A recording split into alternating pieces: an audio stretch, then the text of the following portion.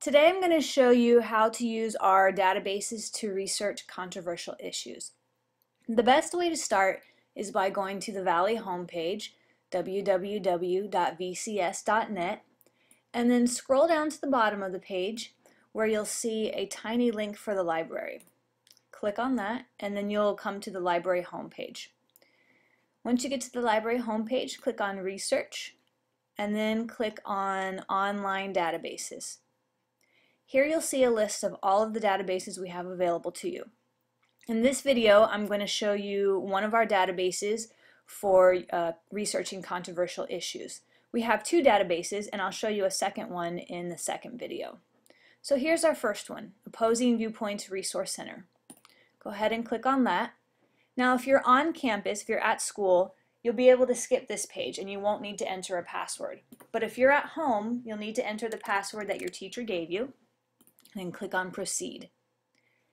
After you do that, you'll be at the Opposing Viewpoints homepage.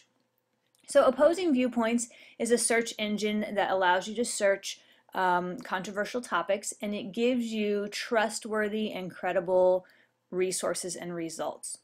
So the easiest way to use it is just to type in this, the topic that you're looking for.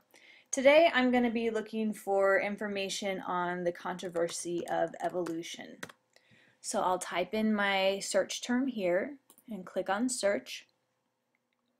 Be patient with this database. Sometimes it's a little slow, so if it takes a while to load, just wait. So here's my topic, evolution. You can see that it gives me a brief summary of the topic. And then here on the sidebar, it shows me what's available to me. I have different viewpoints I can read. I can read newspaper articles, magazine articles, academic journal articles, reference articles like encyclopedias. Um, I have statistics, websites, videos, images, audio. So this is really great, this sidebar, if you're looking for a specific type of resource. So for now, I'm going to scroll down and see what's available to me. And I think I'm going to scroll down to the academic journals. So if I find an article that looks good to me, I can click on the title. And you can see it's loading here. Now let me show you a couple things, a couple tools that each article has. The first thing you'll want to see or want to notice is that each article has this little listen button. And if you're the type of person who learns better by hearing things rather than reading things, this might be useful to you. If you click on the listen button, you, the article will actually get read to you. You'll, you'll, you'll be able to listen to it. So that might be helpful. Now here on this sidebar, I have a couple tools that might be useful. Um, I can share this article on several social networks, or I can email it or print it.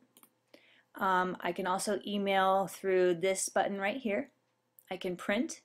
If there's a word that I don't know in this article, I can use the dictionary to help me figure out the meaning of the word.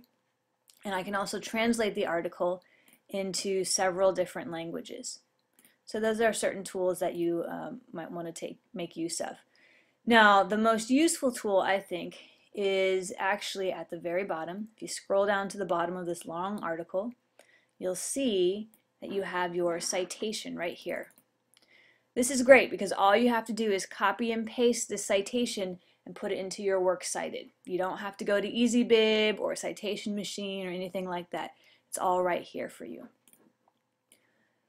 So if you find that this article um, is not useful or if you want to look for another article, you can just go back to your topic and look at the um, at all the other articles and resources that are available to you and just look around until you find something.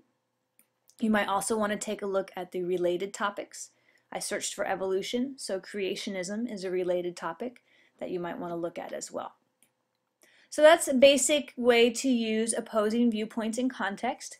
In part two, video part two, I'm going to show you our other database. It's called Issues and Controversies. So make sure you take a look at part two. Thanks.